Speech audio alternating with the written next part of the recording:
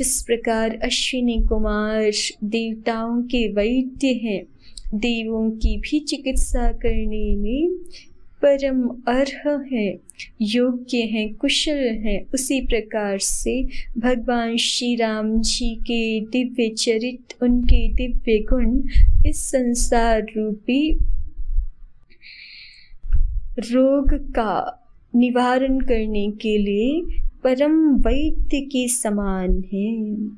जननी जनक सी राम प्रेम के, बीज सकल व्रत धर्म नेम के। और भक्त जनों के हृदय में भगवत प्रेम उत्पन्न करने के लिए श्री राम जी का प्रेम प्रकट करने के लिए ये दिव्य गुण गण मानो।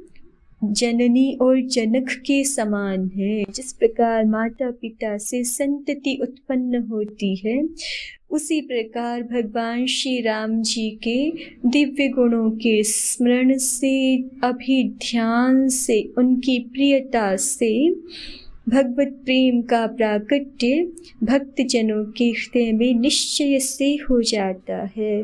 बीज सकल व्रत धर्म नेम के और साधक जनों के जीवन में जो भी सुंदर व्रत, श्रेष्ठ व्रत, धर्म, नियमों आदि का आचरण देखने को प्राप्त होता है, उसका मूल भी उसका मूल कारण, मूल निमित्त भी भगवान श्री राम जी के दिव्य गुण गण ही है। भगवान श्री राम जी के दिव्य गुणों का अनुशीलन करके, अवगाहन करके भक्त हृदयों को मानोबल प्राप्त होता है कि हम भी पुण्य का, हम भी धर्म का आचरण, हम भी श्रेष्ठ व्रतों का आचरण नित्यता पूर्वक कर सकें। समन पाप संताप सुख के।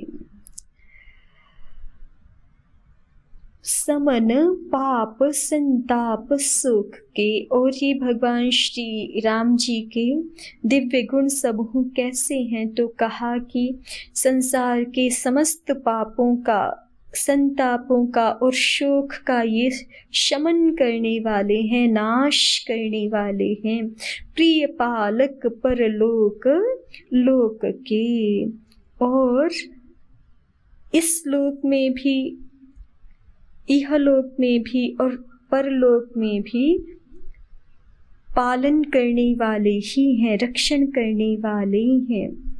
सचिव सुभट सुभट भूपति विचार के। विचार रूपी, ज्ञान रूपी जो राजा है, उसके ये सचिव सुभट शूरवीर मंत्री हैं। अर्थात ज्ञान को बढ़ाने के लिए, ज्ञान का अभिवर्धन करने के लिए, सत्य ज्ञान को प्रकाशित करने के लिए मानो ये, जिस प्रकार से मंत्रीगण, बुद्धिमान, राज्य मंत्रीगण राजा का सहाय करते हैं, राजा के सहयोगी होते हैं, उसी प्रकार से सत्य ज्ञान को प्राप्त कराने के लिए, सत्य ज्ञान का हृदय में आविर्भाव करने के लिए, भगवान श्री राम जी के दिव्य गुणों का स्मरण चिंतन मंत्रीवत कार्य करता है। मंत्री के समान ज्ञान के प्रकाश में सहयोगी होता है। कुंभज लोभ उदधि अपार के।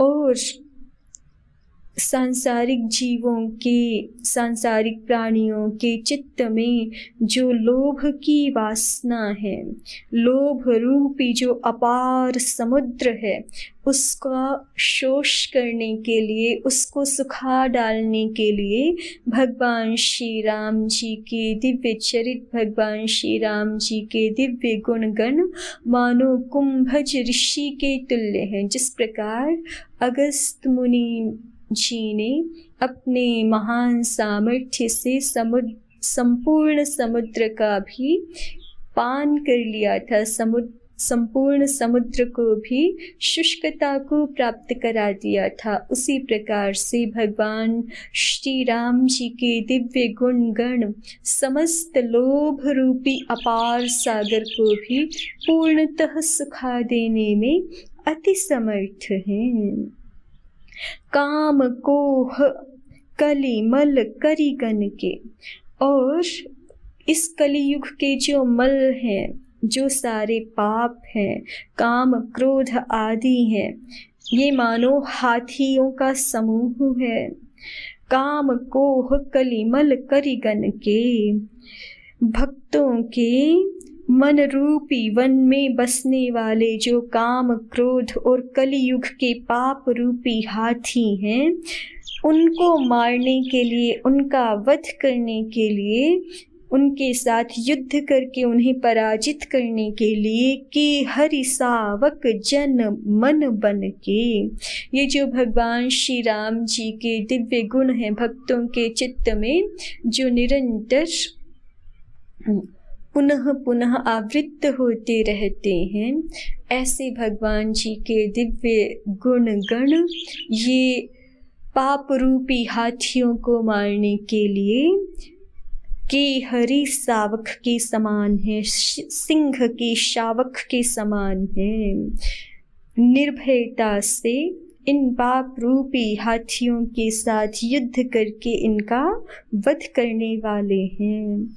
अतिथि पूज्य प्रियतम पुरारी के कामद घन दारिद दवारी के और ये जो भगवान श्री राम जी के दिव्य गुण हैं, ये दिव्य गुण ग्राम है, दिव्य गुण समूह है, ये श्री शंकर जी के अत्यंत पूज्य और प्रियतम अतिथि है। जैसे प्रियतम अतिथि का हम सत्कार करते हैं, पूज्य अतिथियों का हम सर्वथा सर्वदा सत्कार करते हैं। इसी प्रकार से भगवान श्री राम जी के परमोदार्य आदि दिव्य गुण श्री शंकर जी के अत्यंत पूज्य हैं और प्रियतम हैं। कामद घन दारिद दवारी के और दरिद्रता रूपी दावानल को बुझाने के लिए तो ये, मानो, कामद घन ही हैं। कामनाओं को पूर्ण करने वाले मेघ ही हैं, जैसे मेघों का वर्षण जंगल की आग को शांत करने में समर्थ होता है। उसी प्रकार से दरिद्रता रूपी दावानल को बुझाने के लिए और सभी कामनाओं को पूर्ण करने के लिए भगवान श्री राम जी के दिव्य गुण कामद घन के समान हैं। कामनाओं को पूर्ण करने वाले मेघ हैं। मंत्र महामणि विषय ब्याल के विषय रूपी सांसारिक शब्द स्पर्श रूप रस गंध आदि विषय रूपी जो यह व्याल है, महाभयंकर सर्प है, इस सर्प का जहर उतारने के लिए और इस सर्प ने हम सभी सांसारिक जीवों को डसा हुआ है, इसका विष हमारे शरीर में व्याप्त है। विषय वासनाओं से हम निरंतर ग्रस्त हैं। इस विषय रूपी महासर्प का जहर उतारने के लिए भगवान श्री राम जी के दिव्य गुण मंत्र और महामणि है। जिस प्रकार मंत्र से महामणि से सर्प का विष तर जाता है, उसी प्रकार भगवान श्री राम जी के दिव्य गुणों का निरंतर ध्यान करने से बारंबार अनुस्मरण करने से, निरंतर गान करने से विषय रूपी व्याल का जहर भक्त जनों के चित्त से उतर जाता है। भक्त जनों का चित्त स्वस्थता को, निर्लोभता को, निष्कामता को, सतत प्रसन्नता को प्राप्त हो जाता है। मंत्र महामणि विषय ब्याल के। ये भगवान श्री राम जी के दिव्य गुण, मंत्र हैं, महामणि है, विषय व्याल के विष को उतारने हेतु। मेटत कठिन कु अंक भाल के। और हमारे प्रारब्ध में, हमारे मस्तक पर कितने ही कुअंक क्यों ना लिखे हों? कैसा ही बुरा प्रारब्ध, कैसा ही अभाग्य, दुर्भाग्य क्यों ना हो? भगवान श्री राम जी के दिव्य गुण गण ललाट पर लिखे हुए कठिनता से मिटने वाले बुरे लेखों को भी, मंद प्रारब्धों को भी मिटा देने वाले हैं। अर्थात भाग्य को बदल देने वाले हैं। भगवान श्री राम जी के दिव्य गुणों का अनुचिंतन, दिव्य गुणों का स्मरण, दिव्य गुणों की उपासना, आराधन, किन्हीं भी भक्तजनों के ललाट पर लिखे हुए कठिनता से, अति कठिनता से मिटने वाले बुरे प्रारब्ध को भी, बुरे लेखों को भी मिटा देने वाले हैं। हरन मोह तम दिन कर कर से।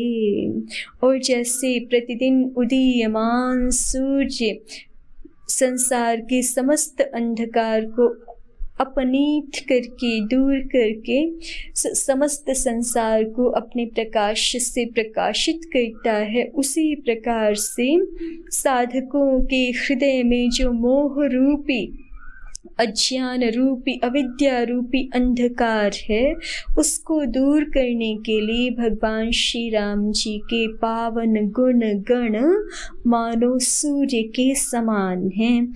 अज्ञान रूपी अंधकार के हरण करने के लिए ये पावन गुण गण सूर्य किरणों के समान हैं। सेवक साली पाल जलधर से और सेवकों रूपी धान के पालन के लिए ये मेघ के समान हैं। जैसे मेघ धान सस्य का पालन करते हैं, वैसे ही सेवक रूपी अपने सेवक जनों को सदैव ये पावन गुण गण पालन करते हैं। उनका पालन पूर्णतः करते हैं। सेवक रूपी धान के पालन करने में ये दिव्य गुणगण मेघ के समान है। अभिमत दानी देव तरुबर से जैसे कल्प तरु, सभी अभिमत का दानी होता है, सभी अभिष्टों को पूर्ण करने वाला होता है। वैसे ही भगवान श्री राम जी के दिव्य गुणों की उपासना, साधकों की, भक्तजनों की, प्रियजनों की भगवत प्रेमी जनों की सभी कामनाओं को पूर्ण करने वाली है। सेवत सुलभ सुखद हरि हर से। और जिस प्रकार से स्वयं हरि और हर भगवान श्री हरि, भगवान श्री शंकर जी, इस सर्वलोक के सुख प्रदाता हैं, इस सर्वलोक के आनंद विस्तारक हैं। उसी प्रकार से सेवन किए गए हुए ये गुण गण सुलभ भी हैं और सुखद भी हैं, सबको सुख प्रदान करने वाले हैं। सुकवि सरद नभ मन उड़गन से राम भगत, जग राम भगत जन जीवन धन से। सुकवि सरद नभ मन उड़गन से। सुकवि रूपी शरद ऋतु के, मन रूपी आकाश को सुशोभित करने के लिए ये तारागण के समान है। शरद ऋतु में जैसे बादल छट जाते हैं, वर्षा ऋतु समाप्त हो जाती है, पश्चात शरद ऋतु का आगमन होता है तो बादल मेघ छट जाते हैं, आकाश सुशोभित हो जाता है और तारागण प्रकट हो जाते हैं। उसी प्रकार से सुकवि रूप जो शरद ऋतु है, उनका, उन सुकवियों का जो मन रूपी आकाश है उसको सुशोभित करने वाले तारागण, ये भगवान श्री राम जी के दिव्य गुण ही हैं। राम भगत जन जीवन धन से, और भगवान श्री राम जी के भक्तों के, प्रिय भक्तों के तो ये भगवान श्री राम जी के सुंदर शील आदि स्वभाव, उदार स्वभाव, कृपालु स्वभाव, ये मानो उनके जीवन धन ही ही हैं। सकल सुकृत फल भूरी भोग से, जग हित निरुपधि साधु लोग से। और भगवान श्री राम जी के ये पावन गुण गण संपूर्ण पुण्यों के फल हैं, महान भोगों के समान हैं। जग हित निरुपधि साधु लोग से, और जिस प्रकार से साधु जन संसार का निश्चल हित करने में सदैव प्रवृत्त रहते हैं। उसी प्रकार से ये दिव्य गुण गण सदैव संपूर्ण जगत के ही हित साधक हैं। जगत का छल रहित यथार्थ हित करने में साधु संतों के समान हैं। सेवक मन मानस मराल से, सेवकों के मन रूपी मान सरोवर के लिए तो ये हंस के समान समान हैं। जिस प्रकार से मानसरोवर में सदैव राजहंस प्रेम पूर्वक विचरण किया करते हैं, उसी प्रकार से सेवकों के मन रूपी मान सरोवर में सदैव भगवान श्री राम जी के दिव्य गुण गणों का ही निवास रहता है। उन्हीं का विहरण सदैव निरंतरता से प्रवृत्त होता रहता है। पावन गंग तरंग माल से और पवित्रता करने में इनका सामर्थ्य कैसा है? तो जैसे श्री भगवती त्रिभुवन पावनी जगत पावनी श्री गंगा जी की तरंगे, उनका सेवन करने वालों को सदैव पवित्र करती रहती हैं। उसी प्रकार से पवित्र करने में तो ये दिव्य गुण गण गंगा जी की तरंग मालाओं के समान हैं। पावन गंग तरंग माल से। कुपथ कुतर्क कुचालिकली कपट दंभ पाषंड दहन राम गुण ग्राम झिमे, ईंधन अनल प्रचंड। जैसे ईंधन को दहन करने के लिए प्रचंड अग्नि पर्याप्त होती है। प्रचंड अग्नि संपूर्ण ईंधन को जला डालती है। वैसे ही भगवान श्री राम जी के गुण समूह प्रचंड अग्नि के समान इस कली युग के जो भी कपट दंभ और पाखंड हैं, कुमार्ग, कुतर्क और कुचाल हैं, उन सबको यह श्री राम जी के गुण समूह रूप अग्नि जला डालती है। राम चरित राकेश कर सरिस सुखद सब काहू।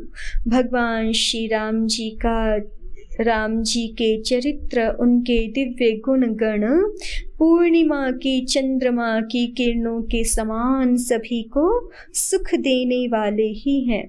सभी को सुख प्रदान करने वाले हैं। चंद्रमा जैसे सबको आह्लादित करता है, सबके मन को प्रसन्नता प्रदान करता है। उसी प्रकार से भगवान श्री राम जी के पावन चरित्र, पावन दिव्य गुण गण, पावन दिव्य गुण समूह सभी के ही हृदयों को पवित्र करने वाला है। सभी के लिए सुखद है। किंतु सज्जन कुमुद चकोर चित हित विशेषी बड़ लाहू लेकिन सज्जन रूपी जो कुमुदिनी है और साधु जनों रूपी जो चकोर है, उनके चित्त के लिए तो मानो ये श्री रामचरित विशेष रूप से हितकारी है, हित साधने वाला है और अति लाभदायक है। महान लाभ को भगवत प्रेम को प्राप्त कराने वाला है। ऐसे परम पवित्र, परम पावन, दिव्य भगवान श्री राम जी के गुण गण सदैव हमें पवित्रता प्रदान करें। इसी भाव के साथ रघुनंदन प्रभु श्री राम जी की जय। गोस्वामी तुलसीदास महाराज जी की जय। सदगुरुदेव भगवान की जय। समस्त भक्त वृंद की जय। ओ शांति शांति शांति ॐ श्री परमात्मने नमः। ॐ श्रीगुरुभ्यो नमः। ॐ सेवेभ्यो नमः